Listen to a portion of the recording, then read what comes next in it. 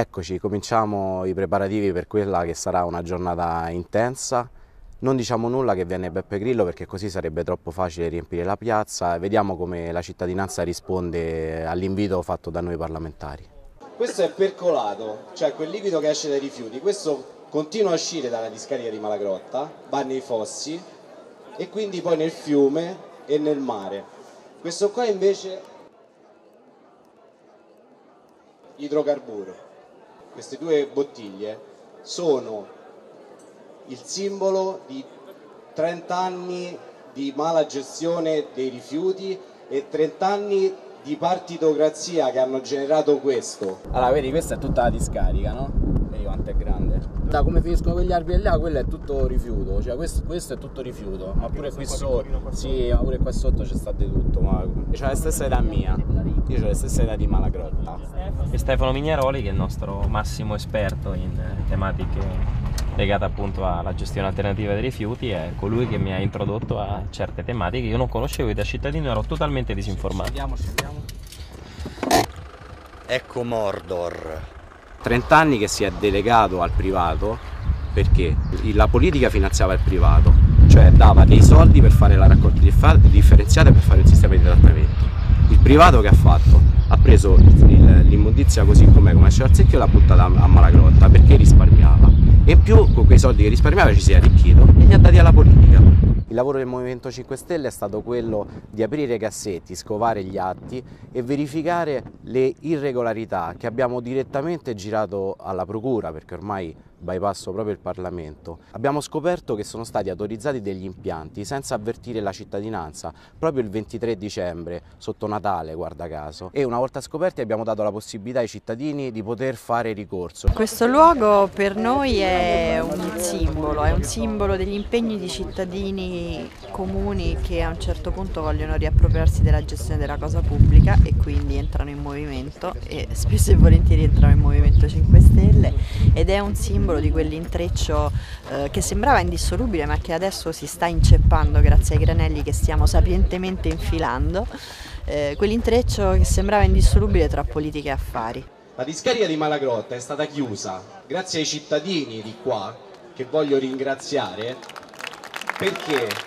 hanno portato in Europa e aperto una procedura di infrazione grazie alle segnalazioni di noi cittadini e oggi anche se ci fosse stato il partito dell'amore al governo, Malagrotta doveva chiudere perché altrimenti lo Stato italiano eh, avrebbe pagato una multa di 500 mila euro al giorno. Avete capito bene, 500 mila euro al giorno. Eh, diciamo, l'unico aiuto l'abbiamo avuto dalla Procura, quindi abbiamo dovuto saltare tutta una serie di organi istituzionali che non hanno mai verificato, perché noi diciamo, questo percolato che vediamo oggi l'abbiamo visto in tv nel 2006 eh, ma questa cosa del, mm, dell'alluvione era già successa, dei rifiuti sparsi nei, nei campi. Nessuno dell'impianto delle raffinerie di Ama aveva chiamato le autorità competenti, sono stato io, siamo stati due giorni, alla fine sono l'onorevole perché quando chiamo ho detto sono onorevole, sono, sono venuti e alla fine hanno sequestrato l'impianto e adesso sono indagati sia le raffinerie che Ama.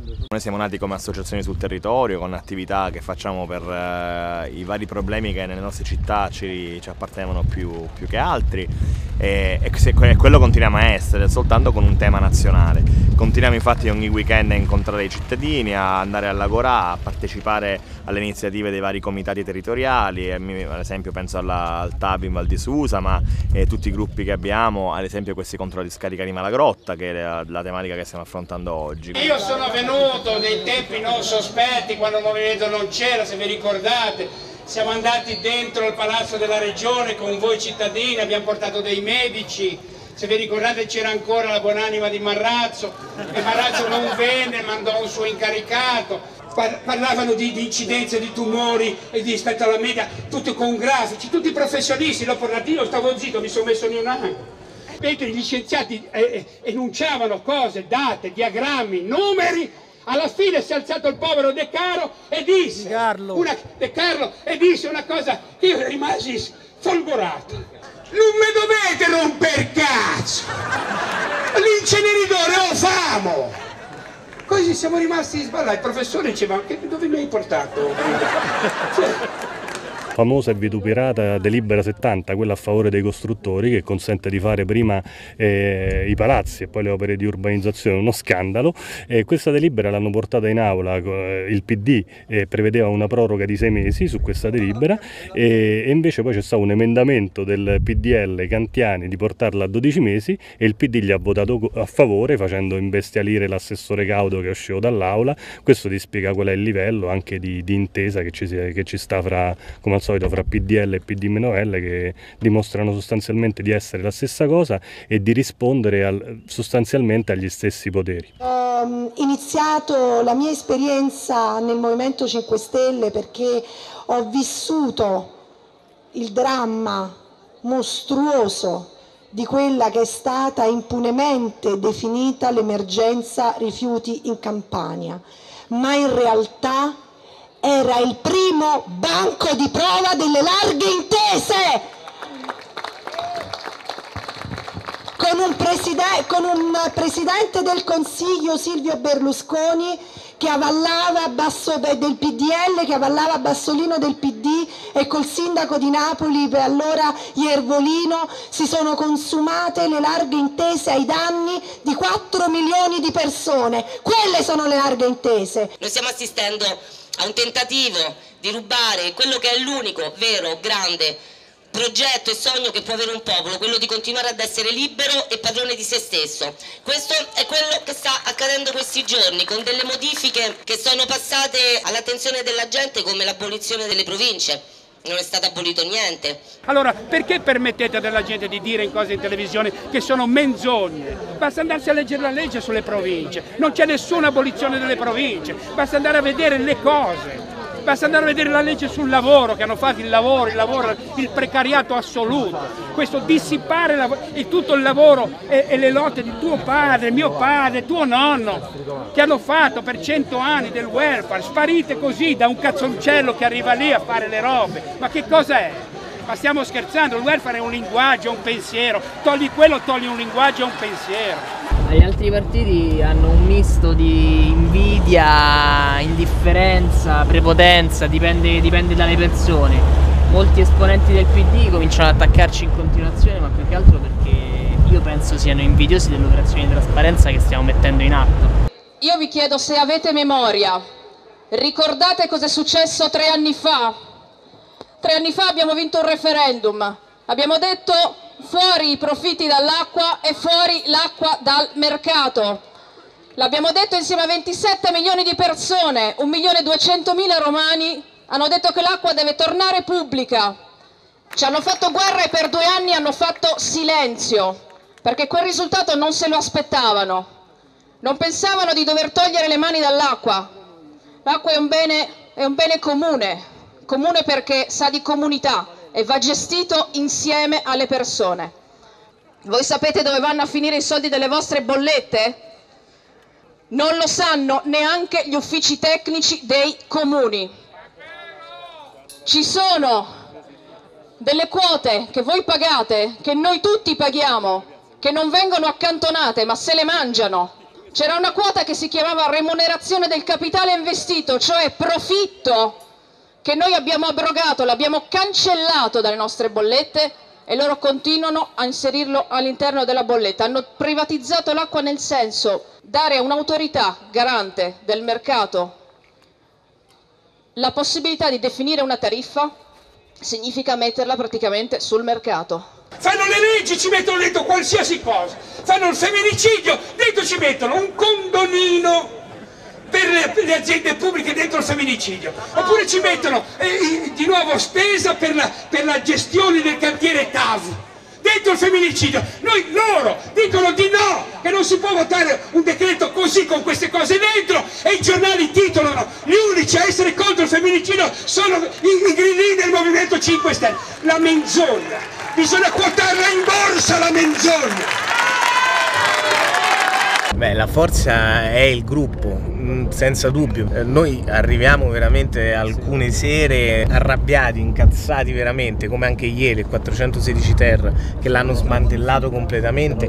E tu stavi lì e sentivi delle stupidaggini che... Allora io vengo da una terra dove gli ultimi due presidenti della regione Sicilia sono stati condannati entrambi per concorso esterno in associazione mafiosa e lo sapevano tutti, lo sapevano tutti. E adesso i signori ieri sera in Parlamento mi dicono che non basta conoscere la qualità della persona, cioè non basta sapere che quello è un mafioso per essere condannato, io devo essere sicuro che poi lui ne tragga un vantaggio, ma che state a dire? Nella mia città io quando vedo un mafioso giro e me ne vado da un'altra parte e ci vado a cena e ci vado ai matrimoni, ma che cosa stiamo dicendo? Il potere eh, non si muove se qualcuno non va a reclamare i diritti. È normale che sia così, quindi l'hanno fatto per la Scialabayeva, è funzionato per i Marò, è funzionato per tutte quelle azioni di pressione che abbiamo fatto, basta che tu vedi. Noi il 15 marzo siamo stati all'Expo, dopo cinque giorni hanno arrestato mezza, eh, mezzi responsabili del, degli appalti dell'Expo, tra cui Angelo eh, Rognoni, sembra che si chiamasse, che è responsabile proprio degli appalti. Poi il 26 marzo andiamo a Salerno, il 26 marzo guarda caso il Consiglio di Stato caccia la sentenza per il crescent e lo dichiara illegale. Il 27 marzo andiamo a Reggio Calabria, a Catanzaro in Calabria e esce la sentenza al governatore della, al presidente della regione Calabria che dice che, deve, che, è stato condannato a sei anni in interdizione perpetua da pubblici uffici perché ha falsificato i bilanci. Ma questo sarebbe, io non lo so, che non è che è colpa nostra, non voglio neanche pensare che portiamo sfiga, però questo succede quando c'è una forza di opposizione seria e la magistratura sa di potersi appoggiare su persone oneste, cioè è molto molto semplice. Ci siamo baciati in aula sulla, sulla, legge per i diritti LGBT, un ragazzo mi scrisse avete fatto fare un salto in avanti all'Italia per i, per i diritti civili di vent'anni, noi vi vedevamo veramente ancora come... E invece quando abbiamo visto quella foto abbiamo detto no, Italia che succede in Italia? Beh, il Movimento 5 Stelle è in assoluto il, il gruppo politico che ha, che ha portato più innovazione nel Parlamento. Abbiamo fatto tantissime tantissime proposte di legge, di quelle che noi riteniamo davvero strutturali, quindi che so, sull'ambiente, dissesto idrogeologico, abbiamo fatto per la prima volta una legge sulla compensazione delle cartelle esattoriali per le aziende che vantano credito verso lo Stato, legge sul conflitto di interessi, riforma della scuola, tutte proposte già depositate, quindi verificabili perché sono agli atti e quindi le trovate sul sito della Camera ma che ovviamente non vengono prese in considerazione dalla maggioranza per una questione proprio di partito, di, perché non possono darci diciamo, la soddisfazione e, e, alla fine comunque chi ci perde sono sempre gli italiani che continuano a non avere delle riforme che invece servirebbero. Quando vedevo il percolato nei fossi eh, vicino alla discarica, vedevo quell'acqua nera e mi veniva in mente una cosa, mi veniva in mente il sistema che quell'acqua nonostante sporca rifletteva, cioè il sistema che si è creato proprio qui, un sistema fatto da imprenditori e politici, eh, imprenditori che per far soldi avevano l'appoggio dei politici che a loro volta prendevano soldi per mantenere quei posti di potere e far e continuare questo sistema assurdo. Le nostre parole guerriere erano parole che ci vergognavamo di dire, nessuno deve rimanere indietro, ti do una mano, erano le parole che ci avevamo dentro, ma ti vergogni oggi di essere buono. È molto più semplice essere disonesti che onesti. L'onestà, ti fai un culo così, vivi con l'ansia, vivi quel momento che ti arriva a equitare, non c'è dove c'è il bollo della panda di 12 anni fa, dove l'ho messo? Vivi, il disonesto se ne batte i coglioni, c'è autocommercialisti, i avvocati, i paradisi fiscali, ha già prevenuto tutte le mosse. È bellissimo anche vivere in una dittatura dove nessuno è eletto con un voto delle persone, che sono tutti nominati. È bellissimo, fate tutto voi. Che cazzo me ne frega, è bello, perché abbiamo dentro questo masochismo, dentro di essere servili. Ce l'abbiamo dentro, ci piace. Siamo lì, dici quello che dobbiamo fare, io lo faccio. Basta che non mi rompi i coglioni a me, io faccio quello che vuoi. È comodissimo, è comodissimo vivere in una non democrazia come oggi, è comodo. Quindi io vi capisco se continuate a votare questo questi bluff, continuateli a votare e sarà un'Italia che avrete voluto voi. Ringrazio Stefano Vignaroli che è un uh, grande esperto di questa, di questa, tematica e sono felice infatti che vada nella commissione eh, bicamerale per la gestione dei rifiuti. C'è questo, questa cosa proprio, il fatto che io grazie a Stefano abbia capito qualcosa in più, è esattamente quel concetto che noi cerchiamo sempre di, di diffondere, quel concetto di rete Cioè noi riusciamo a essere veramente efficaci come cittadini e come cittadini delle istituzioni se riusciamo a scambiarci informazioni, a essere rete.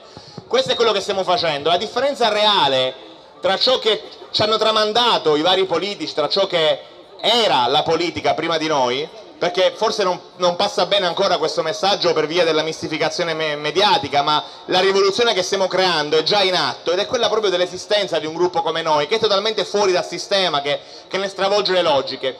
La rete che stiamo creando è proprio quella, la rete di cittadini che si informano e sanno affrontare direttamente le problematiche territoriali, ma poi su larga scala fino alle europee dove oggi avete visto sono usciti i candidati e là arriveremo ancora una volta a cambiare di nuovo le cose, a rimettere in discussione tutto. Ognuno di noi qua ama le istituzioni.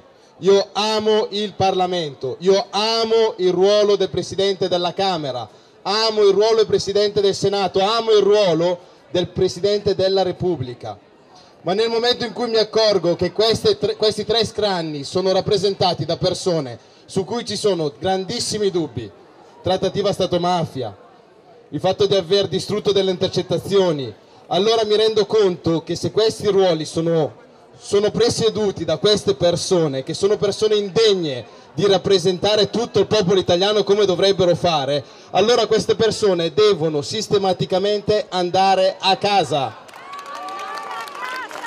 Dobbiamo capire che non può funzionare così e noi lo stiamo già facendo. Dal primo giorno che siamo entrati alla Camera abbiamo iniziato ad annunciare quando c'erano dei deputati che avevano doppio incarico, sia sindaci che deputati. Abbiamo sfiduciato sottosegretari, viceministri, i ministri. La De Girolamo se non avessimo fatto pressione non sarebbe mai andata via. Quindi vedete, siamo partiti dai deputati, sottosegretari, viceministri, ministri, ora insieme dobbiamo fare uno scalino un pochino un po' più alto. Non si possono sfiduciare queste tre cariche, però si può chiedere le loro dimissioni e possiamo chiedere insieme le dimissioni della Presidente della Camera, perché la ghigliottina è stata la dimostrazione che è incompetente. Non lo diciamo noi, io lo sto dicendo perché la Corte dei Conti ha detto che ha aperto un'inchiesta per verificare quanti miliardi siano stati regalati alle banche con il decreto IMU Banca Italia, la Corte dei Conti. 80 euro in busta paga vuol dire che è il voto di scambio. È offensivo per una famiglia, anche se ha poco, è offensivo dargli una pizza per il voto. È questa la gente. E voi state legittimando della gente che mente, mente spudoratamente davanti alle vostre domande. Renzi è, è il nostro eh, nuovo Berlusconi. Io credetemi, il giorno che veramente abbiamo buttato fuori Berlusconi dalle istituzioni ho pensato che l'Italia aveva fatto un passo, un passo avanti, aveva comunque dato un segnale forte. L'ingresso di Renzi all'interno del nuovo panorama politico è eh, agghiacciante il PD e il PDL hanno sancito la loro unione mettendo a capo un Presidente del Consiglio che, li rappresenta perfettamente entrambe. Il volo della Brambilla? Sì. Vi posso dire solo una cosa, che ad oggi non si sa che cosa è andato a fare. Cioè sappiamo che l'elicottero portava nella, nella località dove lei risiede. Ma non siamo arrivati alla possibilità di definire se la sua giustificazione è eh, reale, fondata o campata in aria perché la Camera, PD compreso, ha eh, votato perché l'autorizzazione a procedere non venisse, venisse data. Negata. Però è chiaro che quando un ufficio autorizza 7.000 euro di spesa dovrebbe fare un'istruttoria seria e capire perché stai andando a spendere quelle 7.000 euro in questa maniera quando a un cittadino poi per l'invalidità civile gli fai le pulci, no? E allora il problema è questo, che siccome questa gente è abituata a sperperare, per loro non è un problema sperperare, 7.000 euro più 7.000 euro meno, qual è il problema? Per loro non ce n'è problema. In un anno vi rendete conto quel che abbiamo fatto? Ma, chi, ma se me l'avessero detto che dopo un anno vicepresidente di una commissione, il vicepresidente della Camera Luigi Di Maio 27 anni, il vicepresidente della commissione bilancio Giorgio Sorial, che, che, che, che è lui che insieme agli altri colleghi che hanno scoperto lo scandalo dei lobbisti in Parlamento, occhio, Oggi ci stiamo noi e qualcun altro entrerà nel Parlamento europeo, ma i prossimi siete voi. Cioè bisogna riuscire ad accendere un sogno fondamentalmente per riuscire a vincere questi europei che sono fondamentali e il movimento già lo incarna perfettamente. Oggi ci stiamo noi in Parlamento a portare avanti delle battaglie in trincea, ma sappiamo perfettamente due legislature e poi a casa che entrerà qualcun altro. Uno si interessa della, della cosa pubblica come tutti i cittadini dovrebbero fare poi magari come il servizio militare, no? Uno presta servizio nell'amministrazione per il bene comune e poi torna a fare quello che faceva prima.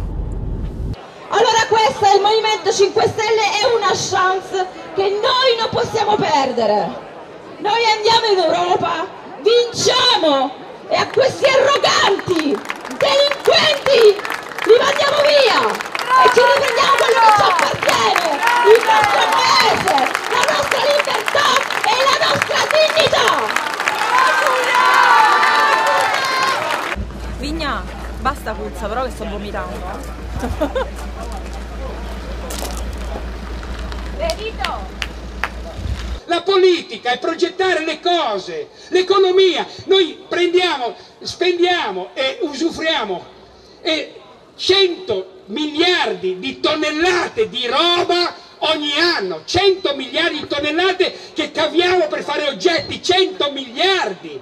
E nell'arco di 8 mesi questi 100 miliardi vanno in un ceneritore, in una discarica, in mare e nel circuito alimentare. Nel circuito alimentare non sparisce nulla, o bevi o mangi o respiri quello che butti via, ritorna tutto lì, è l'ambiente. Allora cos'è l'ambiente? Mi sembra di essere tornato vent'anni fa, l'ambiente non è il bosco, qualcosa all'esterno di te. L'ambiente è quello che hai dentro, i tuoi filtri, i bronchi, i polmoni, il fegato. E c'hai solo quello di ambiente. E se non proteggiamo quello, è finita. E allora? E allora ecco, ecco, lavoro, lavoro, l'inceneritore lavoro, la discarica lavoro, chiudere l'azienda è lavoro, cavare il carbone è lavoro. Il lavoro è il più grande ricatto di questo secolo. Noi non abbiamo questo lavoro, questo lavoro, questo lavoro sta scomparendo, sta, diminuirà sempre di più, diminuirà sempre di più la crescita, la crescita, più frigoriferi, più macchine, più cose. Non è vero che crea posti di lavoro, li toglie perché, perché c'è l'innovazione, c'è l'automazione, c'è la produttività, è un altro concetto. C'è gente, molta gente, che è convinta di avere un posto di lavoro. Non ha un posto di lavoro, ha un posto di reddito. È il reddito che ti inserisce ti disinserisce dalla, dalla, società. Ecco perché nel nostro primo punto nel programma abbiamo messo il reddito di cittadinanza, perché se un'azienda chiude, che chiuda, è libero mercato, ma non devono chiudere le famiglie. Il welfare, è un pensiero, è un pensiero di un mondo, pensiero, il movimento è un pensiero, non è un movimento politico, mettetevelo in testa!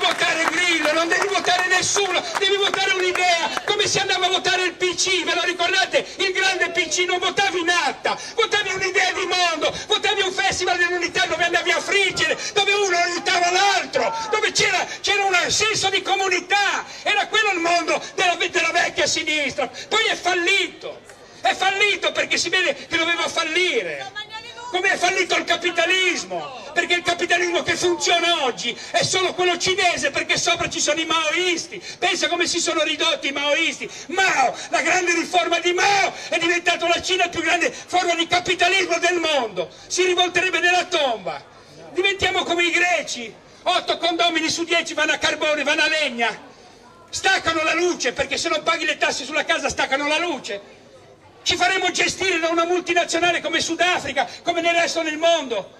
Ce la faremo gestire qui la nostra elettricità in cambio di una prepagata. Prima paghi, appena scaduto il credito stacco. Che cosa facciamo? Non lottiamo per queste cose. Che cazzo dobbiamo lottare? Per che cosa? Per chi?